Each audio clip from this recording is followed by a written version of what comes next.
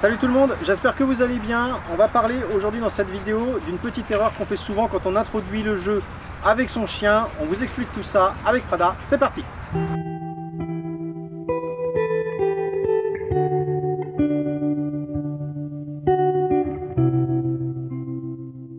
Alors très souvent, quand on commence à faire jouer son chien, on a un réflexe qui est assez mauvais pour le coup, sans s'en rendre compte. Ça part d'une très bonne intention, et souvent quand j'ai des personnes qui viennent en cours, on fait un exercice, et derrière je leur dis allez, on fait jouer le chien. Et tous ou presque me font le même protocole. Ce protocole, c'est celui-ci. C'est en gros, j'ai la balle alors dans une poche ou un autre jouet, un peu importe, ou dans mon sac à dos. Et je sors tout, donc toi tu t'assois deux secondes le temps que je sorte ma balle, et une fois que j'ai la balle, ok, t'es prête, on va jouer. Pas bouger. C'est bien pas bouger. Ah si, pas bouger. Oui, bravo. T'es prête? Pas bouger. Pas bouger. Allez, attrape. Et ça, sans s'en rendre compte, c'est une erreur. Pourquoi? Souvent, vous donnez une phase de jeu à votre chien après avoir marché, après avoir fait de la voiture ou autre, peu importe, le chien il a pris un peu de frustration, un petit peu d'exercice, il attend d'aller jouer. Et premier truc qu'on lui fait avant de jouer, c'est lui recoller une couche de frustration, allez assis, pas bouger, et puis je maintiens mon pas bouger. Alors ça part d'une bonne intention parce que du coup on explique au chien qu'il doit apprendre à se canaliser. Donc ça, certes, la différence que je vais vous expliquer aujourd'hui, c'est que il n'y a pas à avoir de réaction type je saute sur mon maître, j'attrape la balle, je fais n'importe quoi, je lui mange la main ou quoi pour avoir ma balle. Ça, on est d'accord, ça va être euh, refus de jeu, on range la balle, on arrête tout. Pas de souci avec ça, ça je suis complètement d'accord. Par contre, si on lui promet un jeu et que le premier réflexe c'est déjà de le mettre dans le assis pas bouger et stop, et eh ben en fait on va créer quelque chose de très pervers, c'est qu'on va déjà conditionner le chien pour toute la phase de jeu à tu ne bouges pas et tu es sur un entre-deux. Donc je fais baisser la motivation du chien. Je fais aussi un petit truc très subtil qui est de travailler faussement mais pas bouger. Parce que le chien, dès que je vais lancer la balle, il va être en interrogation de j'ai commencé par un pas bouger, il va sans doute me le refaire une fois, donc euh, le chien va pas être aussi, j'allais dire, réactif.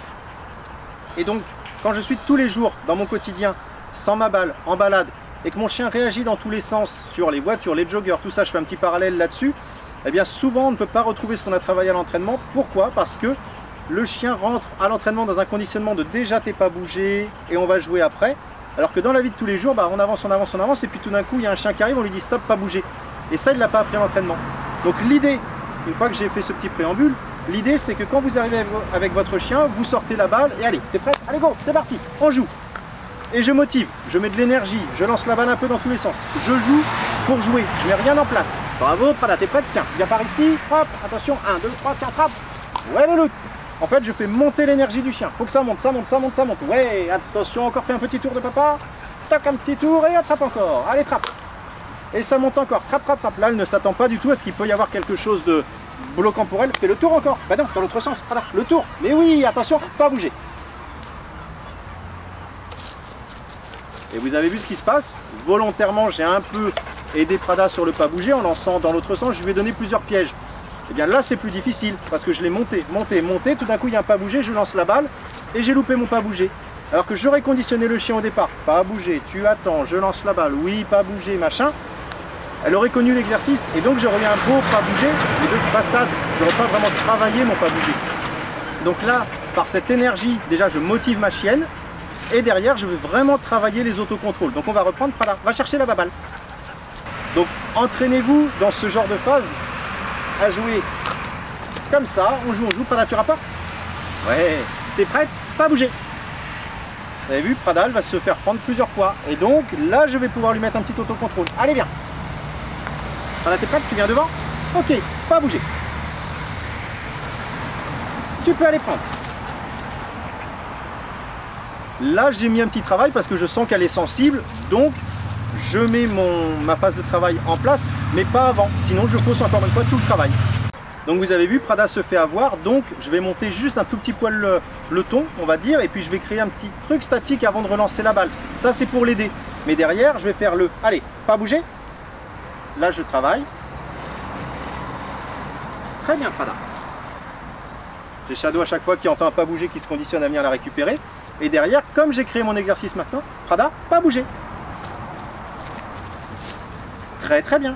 Donc, parce que je lui ai donné envie et que je la piège un petit peu, mais ça ressemble à mon quotidien, quand j'ai encore une fois le chien qui passe à côté, si j'ai besoin d'un pas bouger, bah là j'aurai pas le chien qui va m'aider pendant une heure à préparer mon pas bouger. Donc c'est pour ça que dans ces exercices il faut se préparer à ça et simuler. Ça part dans tous les sens et puis tout d'un coup il y a un pas bouger qui tombe. Ça ne marche pas, je recrée une phase d'exercice, je rétro-pédale mais je ne crée pas le conditionnement dès le départ. Voilà donc pour ce petit axe de travail et encore une fois je fais l'indistinction. Hein. Quand je dis qu'on rétro-pédale pour apprendre au chien à, oui c'est important d'apprendre les autocontrôles. Ce que je veux vous dire c'est que c'est juste cette phase de départ où faut libérer le chien pour qu'il soit dans une dynamique. Quand vous voulez lui apprendre à jouer au frisbee, eh ben on va lancer le frisbee pour que le chien soit motivé. On va pas lui mettre des noms à tout va, du cadrage, de pas bouger, pas bouger, pas bouger. On veut lui apprendre le mordant. C'est pareil, si je fais que le retenir, dans t'as pas le droit, t'as pas le droit, t'as pas le droit, il va hésiter à aller choper sa prise. Si je veux lui faire faire de l'agility et que je le brime à chaque fois, non, tu restes là pour passer le poteau à deux à l'heure. Je préfère que ça parte un petit peu dans tous les sens, mais qu'il y ait l'énergie et que je recadre derrière, plutôt que d'avoir un chien qui hésite à chaque fois. Donc c'est ça l'objectif de cette vidéo, c'est de vous dire, Donnez de l'énergie à votre chien, faites-le bouger dans tous les sens et derrière vous pourrez travailler pendant votre séance. Mais ne conditionnez pas le chien début de séance, tu vas pas bouger et donc tout sera fait dans le calme. Ça c'est apprendre à son chien dans un cadre et dès qu'on en sort, bah, le chien il est perdu et donc il va réagir sur tout. Et voilà, j'espère que cette petite vidéo vous a plu.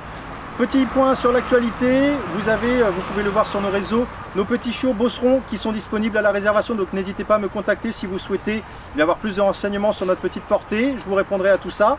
Nous avons également une nouvelle option qui nous a été proposée par YouTube, donc euh, pour ceux qui se posent la question, quelquefois ça arrive, pour soutenir la chaîne, vous pouvez, dans chaque vidéo, vous avez un petit lien où vous pouvez faire un don à la chaîne, donc bah écoutez, ce serait très gentil à vous, sachant que si vous voulez participer aussi financièrement et nous soutenir, vous avez l'espace membre, donc c'est-à-dire qu'en faisant une forme de don, j'allais dire, vous avez en plus du contenu bonus avec des lives, des vidéos bonus et plein d'autres contenu, donc n'hésitez pas, vous allez dans la section rejoindre et vous aurez tout ce contenu avec des vidéos depuis plus d'un an maintenant. Donc si vous vous abonnez, si vous rejoignez la chaîne en tant que membre aujourd'hui, vous avez tout l'historique des vidéos, donc il représente plusieurs dizaines de vidéos en contenu. Donc n'hésitez pas pour nous soutenir par ce biais-là.